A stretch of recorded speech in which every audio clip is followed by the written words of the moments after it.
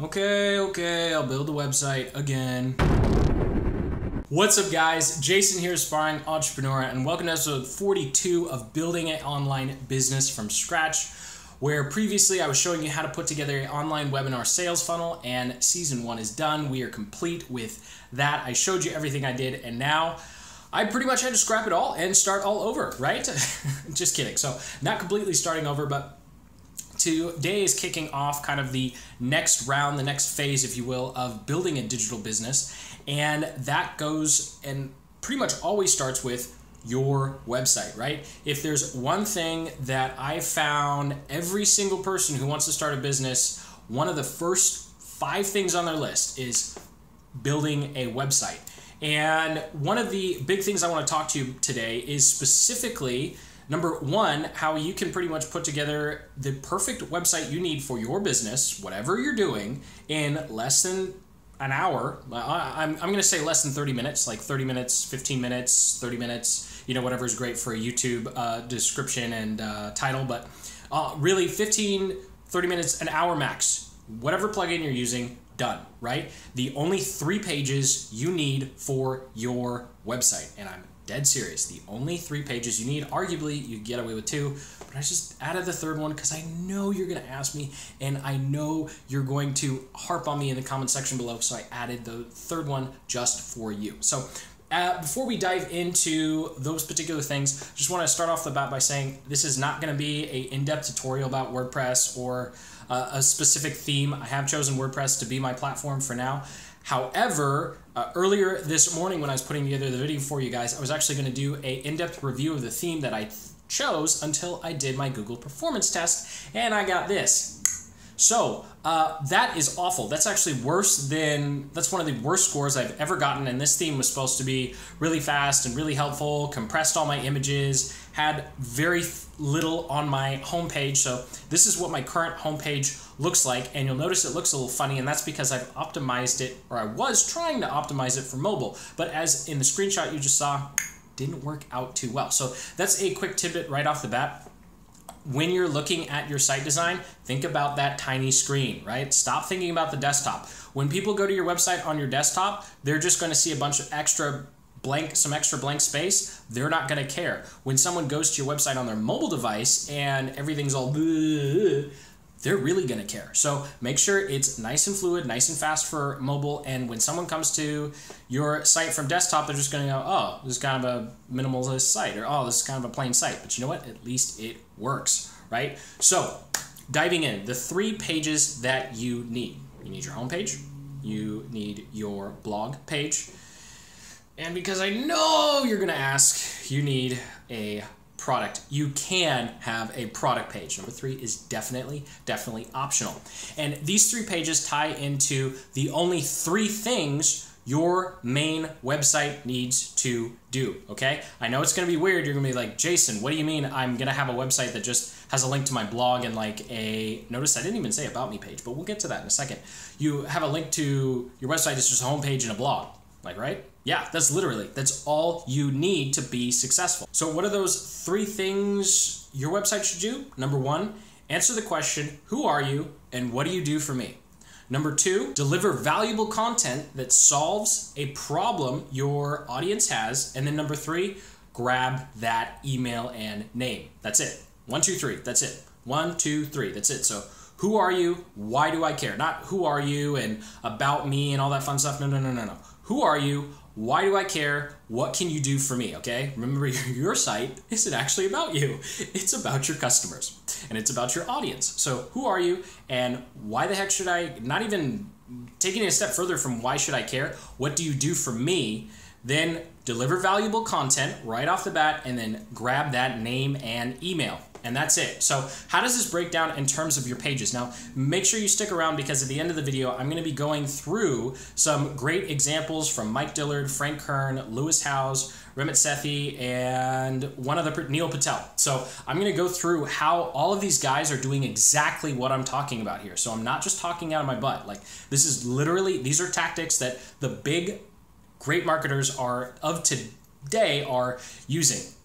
Just in case you don't know who all those random name drop people are. So we'll go ahead and go into your homepage. Now, your homepage can be formatted in several different ways. We'll go through an example, but essentially your homepage answers that first question, who are you and what can you do for me? And then your homepage funnels them into something that's going to either deliver content or grab their name and email. Now you can actually do uh, number one and number three on the first page.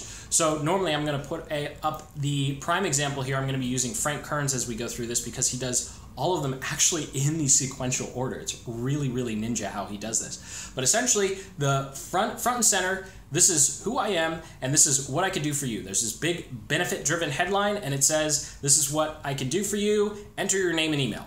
And so if someone's looking at, it, they go, eh, okay, I don't really know. Let's see, what else you got? Okay, so when they scroll down, that's pretty much saying, what else you got? So they scroll down to the next section of the homepage, which would be something in the effect of content. Now, Frank Kern isn't the only one who does this. Gary Vaynerchuk does this also, where as soon as you scroll down above the fold, if you don't take that initial call to action, bam, hit you with some content right up front because you are trying to deliver value. You don't want people going clicking to, oh, about you. That you don't want them looking at your prices. You want to be delivering value to them up front. You want to be starting that relationship with the value squarely centered on you. So you started with, hey, I can do this for you. Enter your name and email if you want me to do it. And if they go, eh, no, I don't really think so. I don't really know you yet. You scroll. You can either scroll down. You can either go straight into content, or you can go into a little bit about you and then back to content again right? So we're to keep scrolling down Frank Kern's page here just because it's such a great example.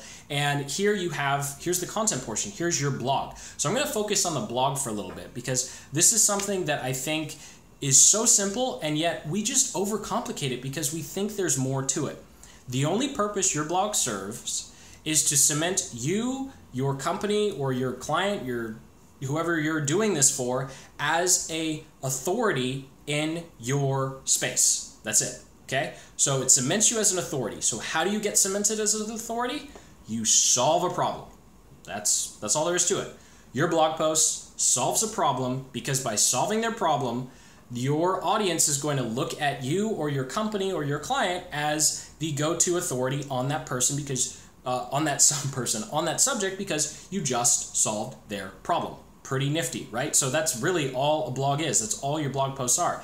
And then at the bottom of your blog post, guess what? You ask. You say, hey, this was some great content. Maybe you want it in PDF form. Maybe you want a little Excel sheet that helps you do XYZ. Maybe you want a free webinar. Maybe you want a video series that dives into how to do this other thing that you're probably interested in as well. All right, so whatever that is, each blog post should end with a call to action. Now, disclaimer if you go to my website, I'm still setting that up, right? And I'm still trying to find a really good uh, plugin that will allow me to do things. Because right now I'm using something called Bloom, but it's just slowing down my site way too much. So I got to figure that out. But anyway, so not logistic, logistics not figured out, but that's why you subscribe, right? You hang out and I'll figure it out for you. So there you go. There's the blog. And then finally, there's the kind of about me what can you do for me type thing. And really you're just giving them another chance to get to know you a little better. And so there's multiple sites that do this at the bottom. Now there's two ways you could do this. Personally i have a video on my homepage that is essentially an introduction to this series. And just says hey, I'm Jason and this is what I'm doing. I think it'd be really cool if you subscribe to me on YouTube and entered your name and email and stuff, and we can hang out and figure out this online business thing together. Now, obviously, you're going to take a lot more time and mental thought into coming up whatever your message is. So it can be a video, or as you see Frank Kern here, it's a, another little paragraph just about him, and then it says, you know, learn more. Now, here's the big tip I have for you in this video. Instead of having that learn more button, go to an about me page. Just have the about me page a blog post. Please, it'll save you so, so much time. Because with the about me page, again, it's not about you, it's about your customer. So you tell your story and through your story, you explain how you can be helpful to the customer, how maybe you've helped other people tackle the problems your customer has, or how maybe you used to have the problem your customer has and now you've overcome it. And that's what you do on that about me section. And that that is a blog post, right? And then at the end of the and the, the end of the about me, what do you do? you have a call to action. Maybe it's work with me, maybe it's contact me, maybe it's copy paste my cool template for doing XYZ that has to do with the problem you talked about in your About Me section, right? But there you go. So after all of that, I've gone through all of that, and you've done all of that by just setting up two pages on your website. So again, the purpose of this video is number one, to prove to you that you just need two pages. You really don't need that third one. I'll get to it, but you really don't need it. And then number two is it's gonna save you so, so much time and headache setting up a beautiful, immaculate site. Now, if you wanna see a cool site, I know I did a little scroll through of it earlier, but you can go to lewishowes.com or you can just look at this 30 second B-roll and see like, this is what a beautiful just beautifully done website looks like that he probably he paid at least five or six grand for no joke so unless you have five or six thousand dollars and you've already got a brand that you say yeah it's worth spending that much money on a website for and you want something to look this good then you can ignore this video everybody else and i'm serious about that five or six thousand dollar thing i'm dead serious Everybody else who, number one, thinks they can go to Fiverr or Upwork and get the same quality. Number two, thinks that, oh, it's not really going to take that much time. Or number three, thinks that, oh, they, I can just figure it out myself. You are going to be wasting a lot of your time. Because I'm here to tell you, um, we're on episode 42 here, so I've learned a thing or two about falling flat on my face. I'm here to tell you that the number one skill that you need to hone is communication, right? Whether that's sales copy or content, your the content on your blog, those are the two things that are going to matter the most when you're building your business. It's not going to be how pretty your website. It's not going to be having the most cutting edge, you know, graphics here or there, right? It's going to be having a website that loads fast, having two pages that have very simple very simple images and you know do jpegs not pngs you know compress your images if you can blah blah blah blah blah uh, we'll do other videos on that. But when you focus on these three things, who, who are you and what can you do for me, delivering valuable content, and then asking for their name and email, you, you cut down the time it takes to put together your website. And when you cut down on the time it takes together to put together your website, yes, it doesn't look super cool, right? It's plain Jane. Look at mine. It's plain Jane. Here's some more pictures. It's plain Jane. It's nothing special. But you know what? People aren't coming to look at a bunch of pretty pictures unless you're a photographer. Then, you know, do pretty pictures, right? But that's that's kind of your your content.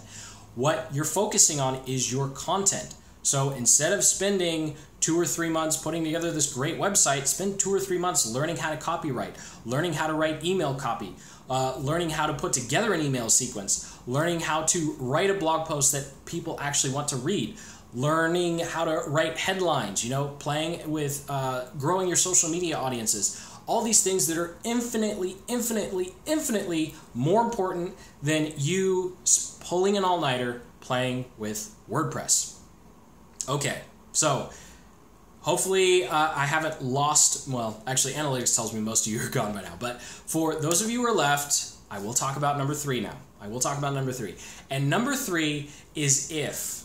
Okay, number three is if you already have a product or service, it's completely done. You're not building anything. Okay, if you're still putting together your info product or you're not already selling your service or your product, this this page won't matter. But if you are already in that profit mode, then the third page can be a product sales page. So that sales page sells your product or service and of course it has that little pricing table at the bottom if you want or it has, you know, the order now button. So that would be the only third page that I would actually link to on your site. Now remember, I'm not talking about landing pages, sales pages, you know, webinar, your webinar pages or your download pages. All of those are kind of in the background. They're not linked on your site. And it's really important to remember that when someone comes to your site, you want to funnel them into actions you want them to take.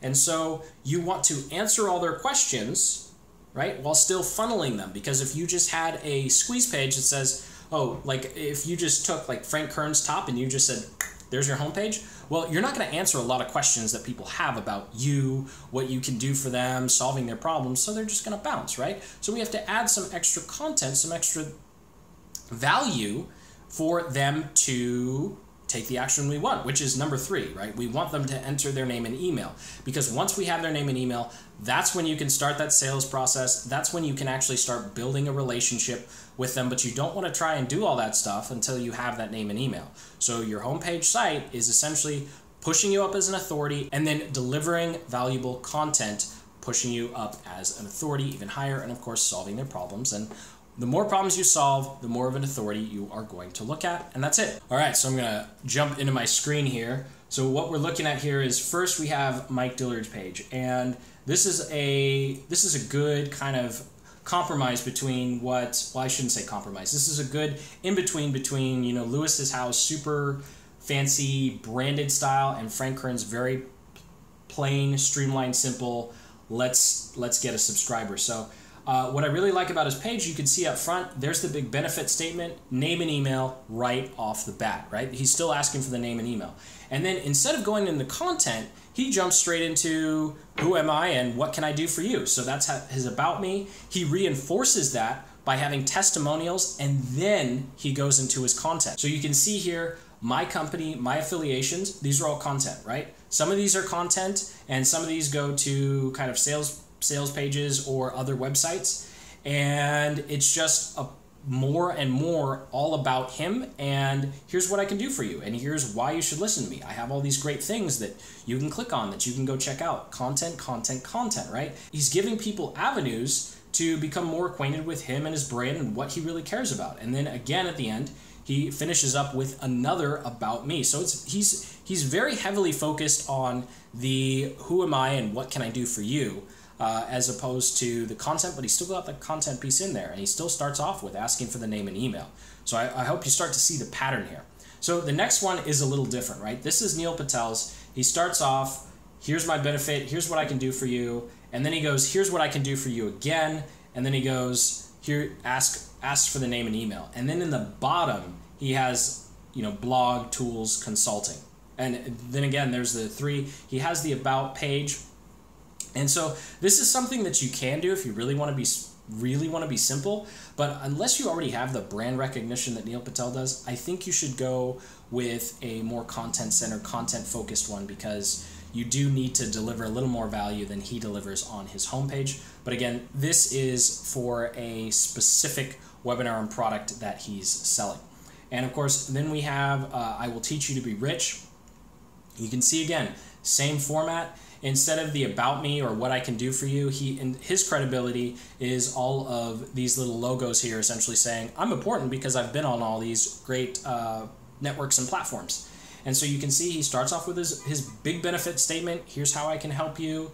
He asks for your name and email, and then he says, I'll teach you. And then here's his content. His links go, here's what I can do for you. And if you click on them, you go to the content, right? And then again, he asks one more time for the name and email. So he definitely focuses on those two out of the three that I was really talking about. Of course, you can go to his, you know, about me section if you want. So thank you for watching. I hope you found this video informative and actionable. If you got some value out of this video, you know, the business and marketing tactics and strategies we just covered here, go ahead and hit that like button and then subscribe because over on my YouTube channel, I'm going from A to Z and everything in between it takes to build a digital marketing machine for whatever type of business you have in this particular series i'm documenting the process of putting together an online webinar sales funnel but that is really just the tip of the iceberg when it comes to building a business. And then, of course, after you hit that subscribe button, go ahead and comment with any questions you have about the three keys to what needs to be included in your website.